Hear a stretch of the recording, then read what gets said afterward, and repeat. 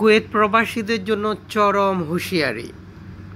সংসদীয় মানব সম্পদ উন্নয়ন কমিটির প্রধান এমপি খলিল আল সালে বলেছেন, সাম্প্রতিক জনসংখ্যা বিষয়ক সমস্যা সমাধানের জন্য আমাদের লম্বা সময় অপেক্ষা করার কোনো দরকার নেই।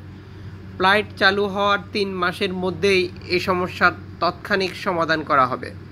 তিনি আরও বলেন, আমরা প্রবাসীদের বিপক্ষে নয়, কিন্তু তাদের অতিরিক্ত জনসংখ্যা সহ করা হবে না। উল্লেখ্য, কুয়েতে প্রায় এক লক্ষ আটষট্টি হাজার অবৈধ প্রবাসী রয়েছেন, যাদের মধ্যে মাত্র কিছু সংখ্যক নিজ দেশে ফেরত গেছেন।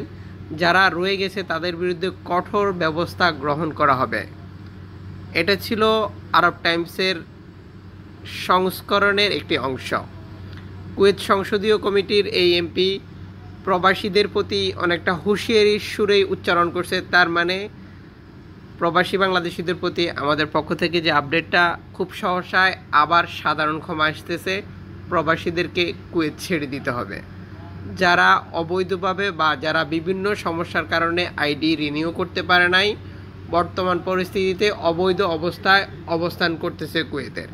তাই সবার প্রতি অনুরোধ থাকবে, সতর্ক থাকুন, সাবধান থাকুন। আপনার নিরাপদ প্রবাস জীবনের জন্য। পুলিশের কন্ট্রোল রুমে একটি কল আসে সালমিয়া থেকে। অপর প্রান্ত থেকে লোকটি বলে, জাল নোট সহ একজন নাগরিক আমাদের এখানে আছে, আপনারা যত তাড়াতাড়ি সম্ভব এখানে উপস্থিত হন।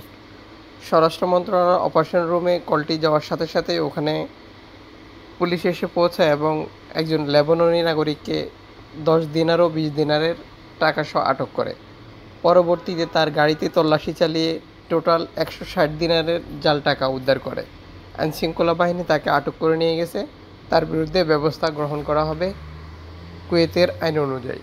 সম্মানিত প্রবাসী ভাইদের প্রতি অনুরোধ থাকবে, আপনারা অভাবগ্রস্ত বা অভাবের তাড়নায় এ ধরনের প্রতারক বা প্রতারণাকারীদের ফাঁদে ফা দিয়ে এ ধরনের কাজে জড়িত হবেন না, যাতে করে আপনার বিরুদ্ধে আইন শৃঙ্খলা বাহিনী কঠোর অবস্থান নেয়।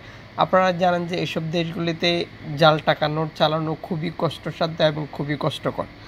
সুতরাং সতর্ক থাকুন এসব প্রতারক চক্র থেকে সতর্ক রাখুন আপনার